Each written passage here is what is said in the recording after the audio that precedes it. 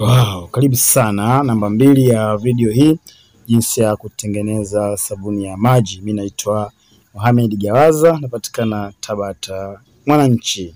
Sasa kabla ya kuendelea, hivi nitajia kwanza malighafi zinazotumika, kwa sababu katika video namba moja ni kutajia tu hatua za utengenezaji bila ya kutajia malighafi. Namba moja itakuwa na sulfonic acid, namba mbili itakuwa na stress, namba tatu itakuwa na soda ashlight, namba nne itakuwa na glycerin, namba tano itakuwa na CDE, namba sita itakuwa na chumvi, namba saba itakuwa na rangi Uh, rangi zipo za aina nyingi, kuna kijani, blue, pink, zambarau na atakuwa na perfume zipo aina nyingi, lemon, casablanca, apple, pineapple, jasmine na rose.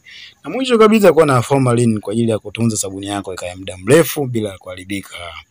Tulishia hapa kwamba tulitia stress, tukatia na uh, sulfonic acid, tukatia na soda ash. So mimi nitaendelea na toa ile ile nilipoishia. Kwa mchanganyiko wangu ulikuwa mzito, nikataka niulainishe, nikatia maji. Maji kiasi gani?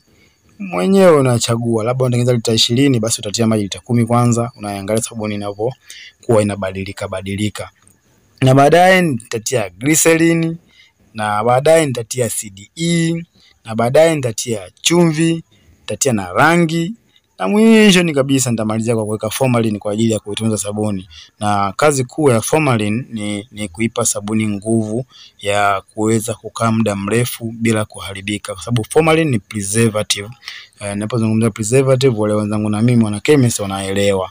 Basi video hii itaendelea. Leo tuishie hapa. Mimi naitwa Mohamed Gawaza. Kama umependa video hii basi ipe sababu, na kama unapenda kujifunza zaidi, unaweza ukapata kopi ya kitabu changu cha mjasiriamali mbunifu kwa shilingi elfu saba tu. Na kopi hii bwana, itakusaidia kwa mambo mengi, kwa sababu kina masomo si chini ya ishirini nimeshayazungumzia ndani ya kitabu hichi kimoja.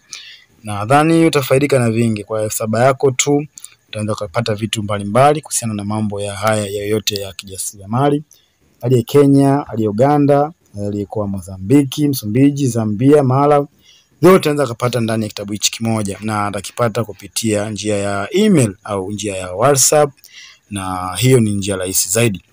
Na kitabu kikubwa zaidi kinaitwa Mwongozo kwa Wajasiriamali, ambapo mtu anaweza kupata kopi hii kwa gharama nafuu kabisa kwa shilingi elfu kumi. Kama unafikiria elimu ni gharama, basi jaribu kuwa mjinga. Mimi naitwa Mohamed Gawaza 0684